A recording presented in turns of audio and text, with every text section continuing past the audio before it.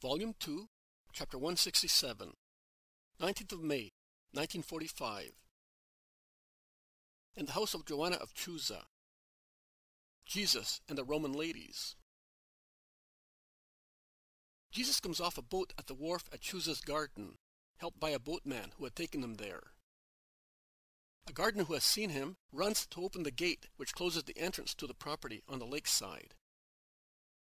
It is a strong tall gate, which, however, is concealed by a very thick high hedge of laurel and box on the outer side, towards the lake, and by roses of all colors on the inner side, towards the house. The magnificent rose bushes decorate the bronze laurel and box leaves.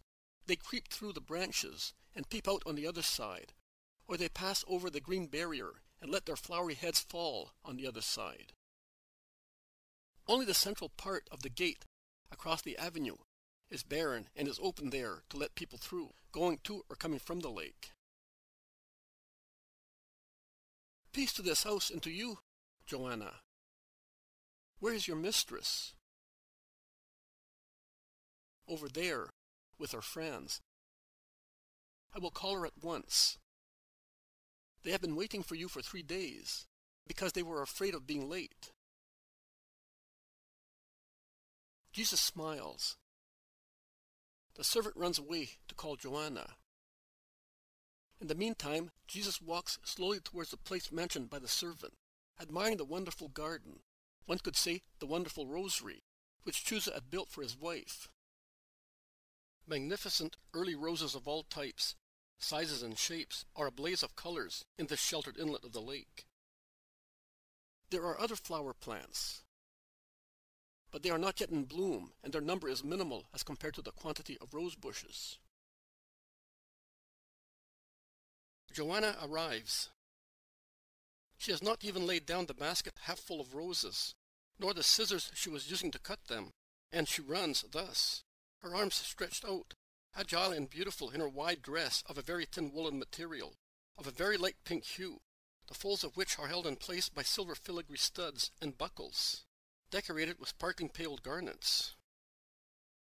On her dark wavy hair, a mitre-shaped diadem, also in silver and garnets, hold a very light pink byssus veil, which hangs over her back, leaving uncovered her ears, adorned with earrings matching the diadem, her smiling face and thin neck, round which she wears a shining necklace, which is made like the rest of her precious ornaments.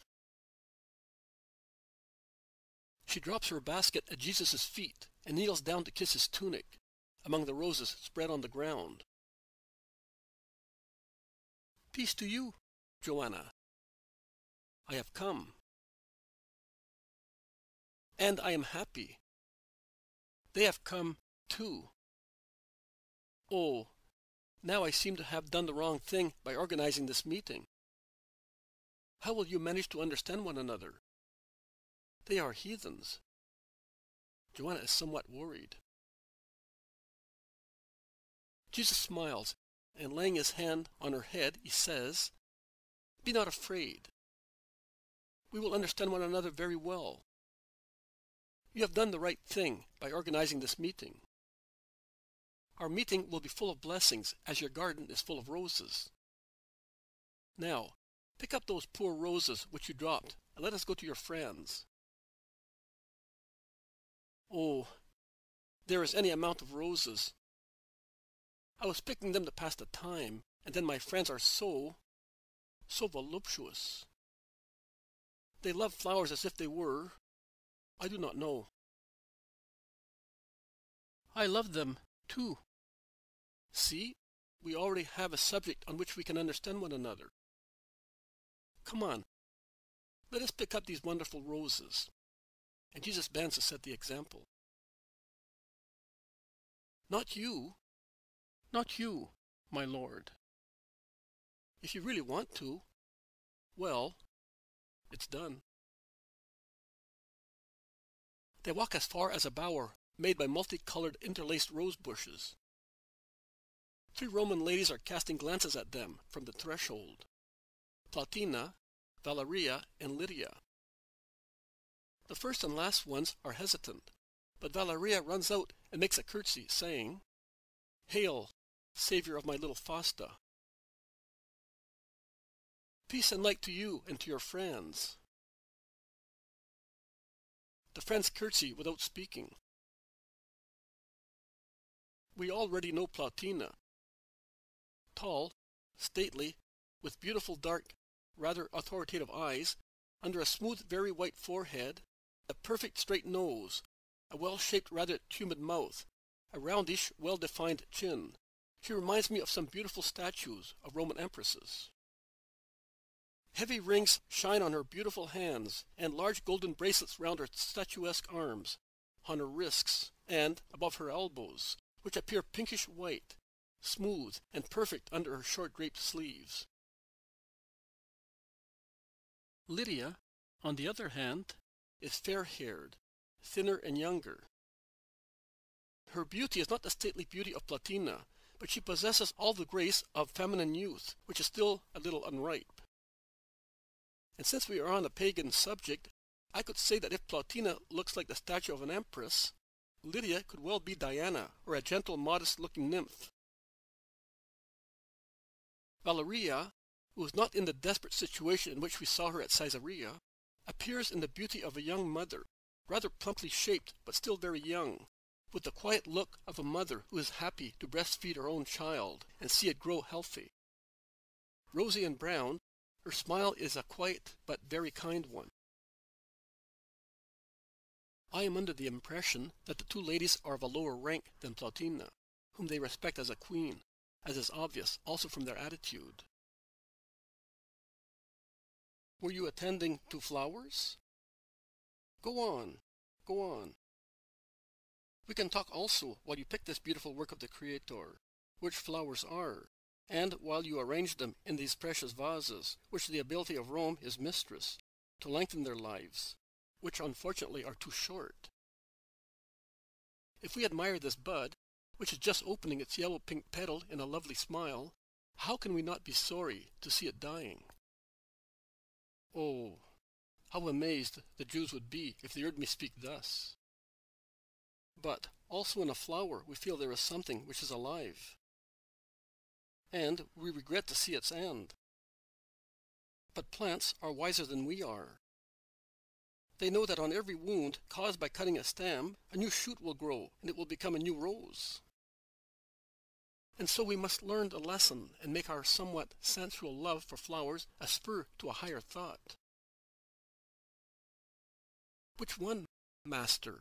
asks Plautina, who is listening diligently and is intrigued by the refined thought of the Jewish master.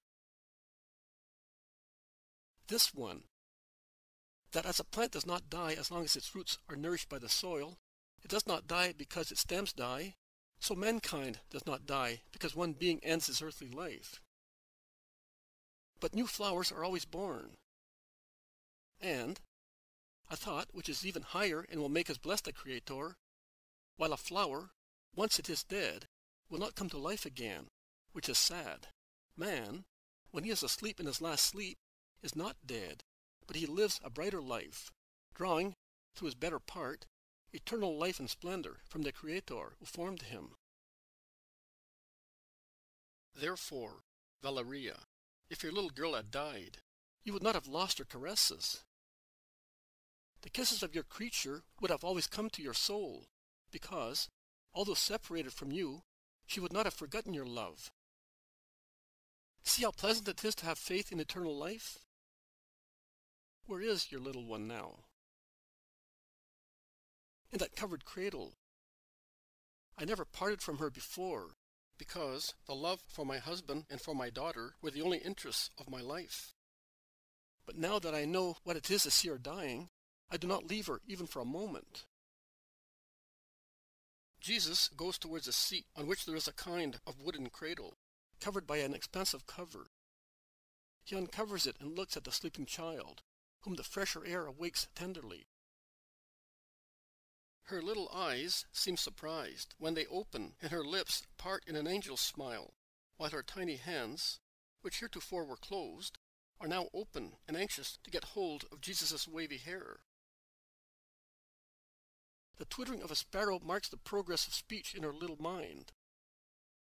At last the great universal word trills, Mummy. Pick her up, pick her up, says Jesus, who moves to one side to let Valeria bend over the cradle. She will give you trouble. I will call a slave and have her taken into the garden. Trouble? Oh, no. Children are never any trouble. They are always my friends. Have you any children or grandchildren, master? asked Plautina, who watches how Jesus, smiling, teases the baby to make her laugh. No, I have neither children nor grandchildren. But I love children as I love flowers, because they are pure and without malice. Nay, give me your little one, woman. It is such a great joy for me to press a little angel to my heart. And he sits down, holding the little baby, who watches him and ruffles his beard, and then finds something more interesting to do, playing with the fringes of his mantle and with the cord of his tunic, to which she devotes a long mysterious speech. Plautina says, Our good and wise friend, one of the few who does not disdain us and does not become corrupt associating with us, will have told you that we were anxious to see you and hear you, to judge you for what you are, because Rome does not believe in idle stories. Why are you smiling, master? I will tell you later. Go on. Because Rome does not believe in idle stories and wants to judge with true knowledge and conscience before condemning and extolling. Your people exalt you and calumniate you to the same degree.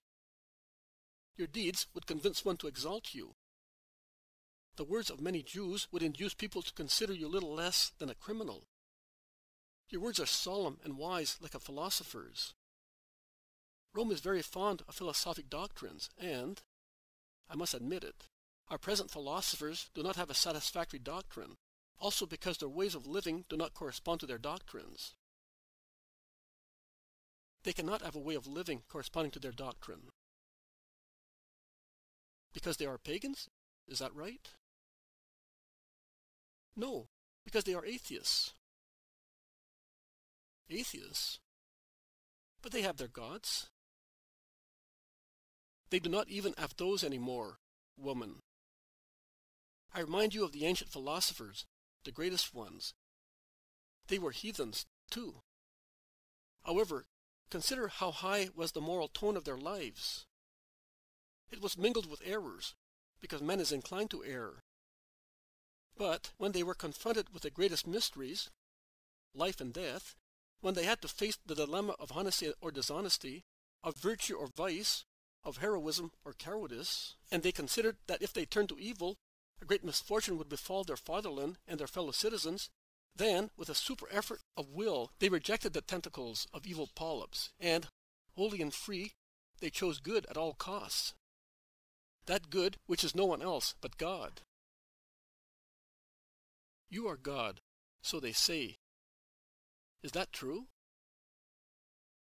I am the Son of the true God. I became flesh, but I still remain God. But what is God? The greatest master, if we look at you. God is much more than a master. Do not minimize the sublime idea of divinity to a limitation of wisdom. Wisdom is a deity. We have Minerva. She is the goddess of knowledge.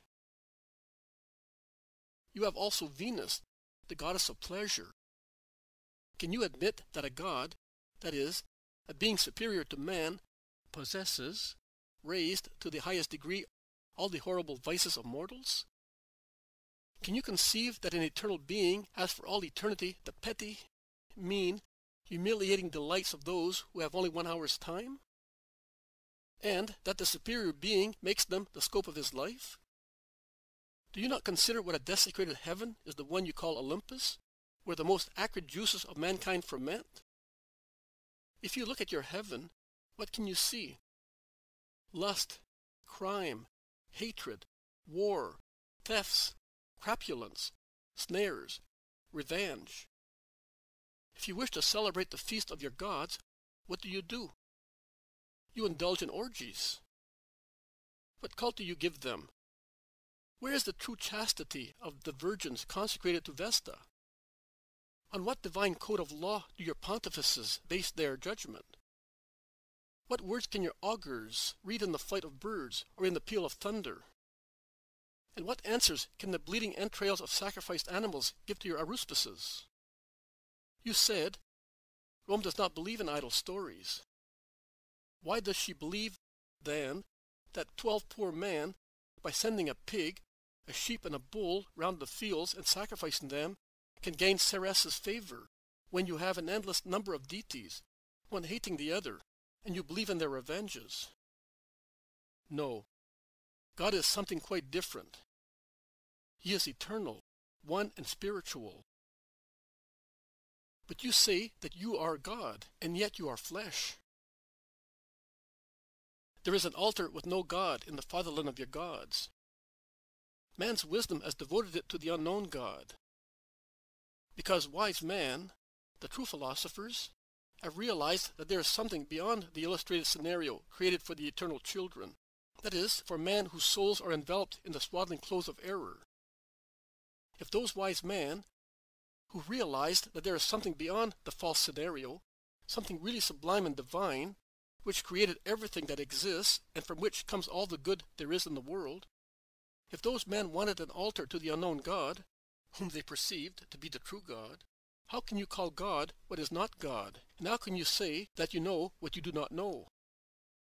Learn, therefore, what God is, that you may know and honor him. God is the being who by his thought made everything from nothing. Can the tale of stones changing into man convince you and satisfy you? I solemnly tell you that there are men more hard and wicked than stones, and stones more useful than man.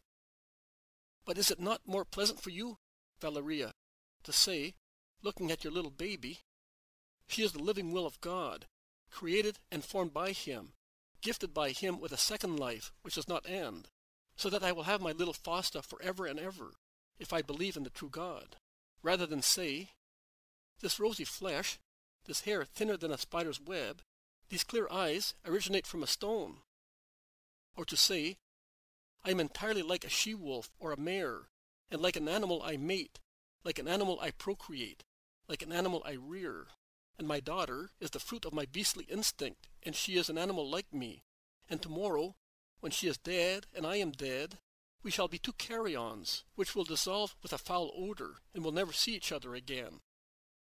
Tell me, which of these two choices would your maternal heart prefer? Certainly not the latter, my lord. If I had known that Fausta was not a thing that could be dissolved for ever, my grief, when she was in agony, would not have been so violent. Because I would have said, I have lost a pearl, but it still exists, and I will find it. You are right. When I was coming towards you, your friend told me that she was amazed at your passion for flowers, and she was afraid that it might upset me. But I reassured her, saying to her, I love flowers too, so we will understand each other quite well. But I wish to bring you to love flowers, as I have brought Valeria to love her baby of whom she will now take greater care, as she knows that Fausta has a soul, which is a particle of God, enclosed in the body which her mother made for her, a particle which will not die, and which her mother will find again in heaven, if she believes in the true God. The same applies to you. Look at this beautiful rose. The purple which adorns the imperial robe is not so magnificent as this petal, which is not only a pleasure to the eye because of its hue, but is also a joy to touch because of its smoothness, and to smell because of its scent. And look at this one, and this one, and this one. The first one is like blood gushing from a heart. The second is like fresh fallen snow. The third one is pale gold. The last one is like the sweet face of this child smiling in my lap. And further, the first one is stiff on an almost thornless stem the leaves of which are reddish, as if they had been sprayed with blood. The second has only a few thorns, and its leaves are pale and dull on the stem. The third one is as flexible as a reed, and its small leaves are as shiny as green wax. The stem of the last one is so thick with thorns that it seems anxious to prevent all possible access to its rosy corolla. It looks like a file with very sharp teeth. Now consider this. Who made all that? How? When? Where? What was this place in the midst of time? It was nothing. It was an amorphous stirring of elements. One, God, said, I want, and the elements separated and gathered in family groups. And another, I want, thundered, and the elements arranged themselves, one with the other, the water between the lands, or one on the other, air and light on the formed planet. One more I want, and the plants were made. And then the stars, then animals, and at last man. And God, to make man, his favorite creature, happy, granted him, as magnificent toys, flowers, stars, and finally the joy of procreating not what dies, but what survives death by the gift of God, and which is the soul. These roses are as many wills of the Father. His infinite power makes it clear in an infinite number of beautiful things. My explanation is a rather difficult one because it clashes with the brazen resistance of your beliefs. But I hope, as it is our first meeting, that we have understood one another a little. Let your souls ponder on what I have told you. Have you any questions to ask? Ask them. I am here to clarify things. Ignorance is not a disgrace. It is disgraceful to persist in ignorance where there is someone willing to clarify doubts. And Jesus, as if he were the most experienced father, goes out holding the little child, who is taking her first steps and wants to go towards a jet of water swaying in the sunshine. The ladies remain where they were, speaking to one another. And Johanna, hesitating between two desires, is standing on the threshold of the bower. At last, Lydia makes up her mind and, followed by the others, goes towards Jesus who is laughing because the little one is trying to catch the solar spectrum with her hand and grasps nothing but light, and she insists over and over again, babbling with her rosy lips. Master, I have not understood why you said that our masters cannot lead a good life because they are atheists. They believe in Olympus, but they believe. They have but the outward appearance of belief. As long as they really believed, as a truly wise man believed in the unknown God I mentioned to you, in that God who satisfied their souls, even if he was nameless, even if inadvertently they did not want to, as long as they turned their thoughts to that being, by far superior to the poor gods full of faults of mankind, of the low faults of mankind, the gods that paganism created for itself, they somehow reflected God, by necessity.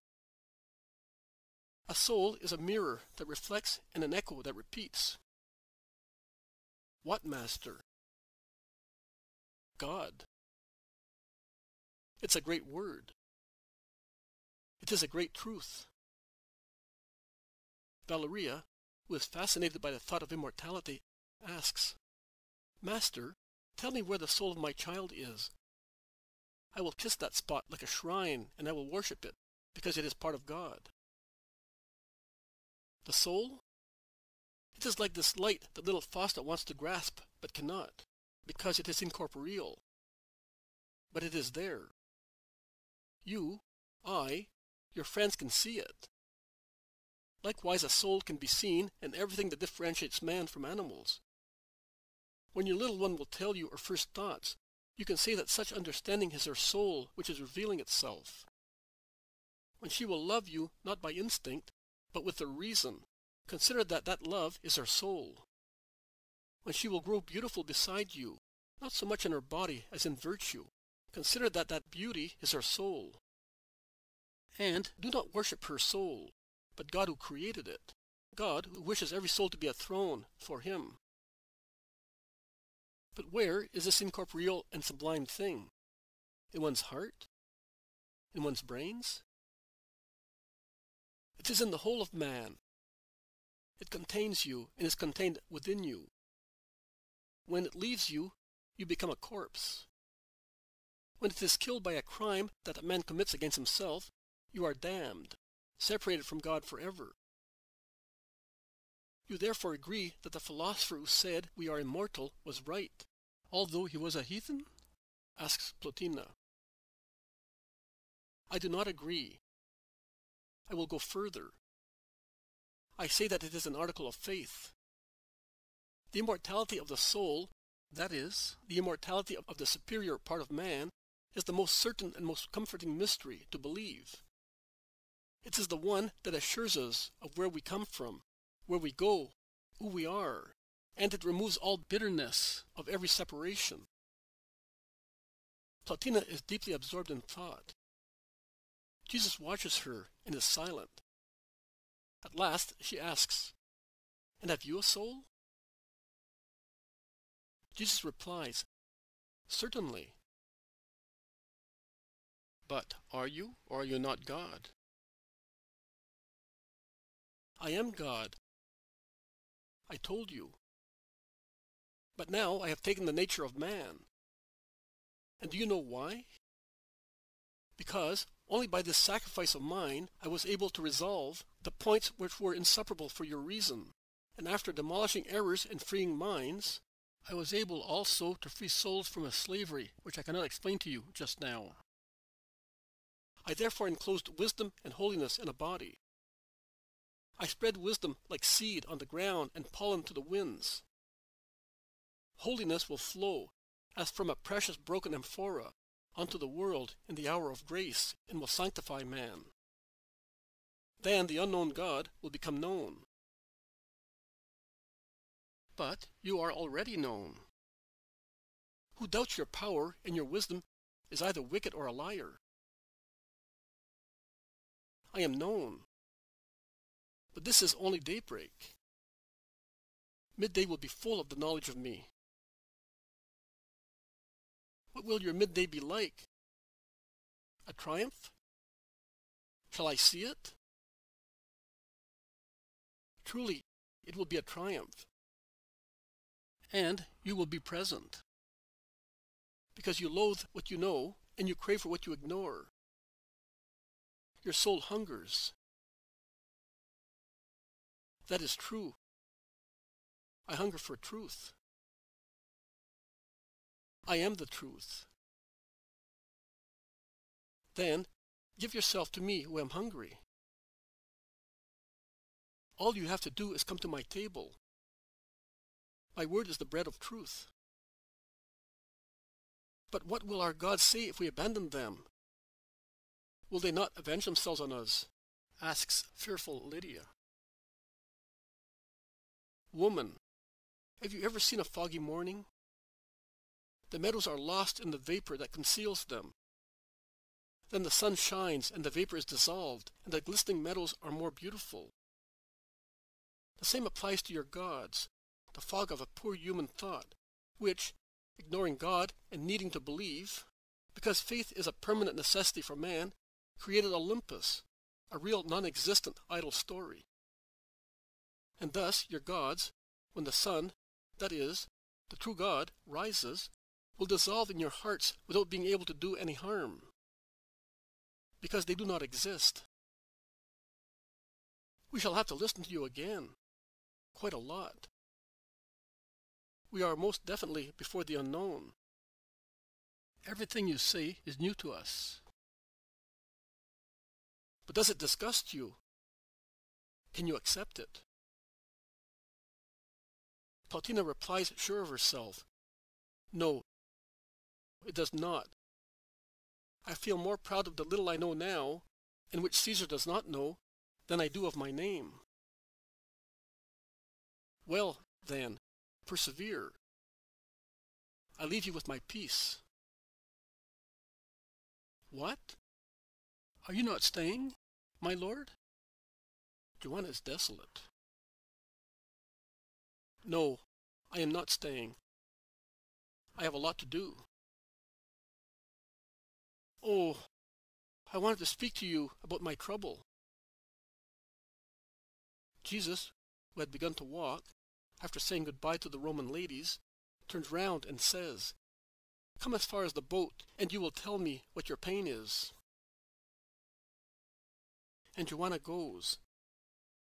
And she says, Chuza wants to send me to Jerusalem for some time, and I'm not happy about it.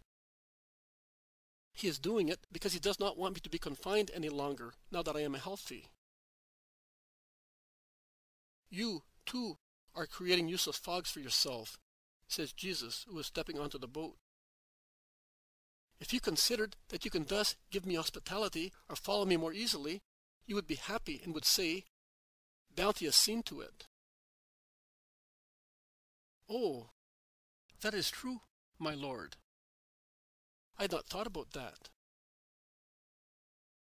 So, you can see. Be a good wife and obey. Obedience will give you the reward of having me as your guest at next Passover, and the honor of helping me to evangelize your friends. My peace be always with you. The boat sets out and it all ends.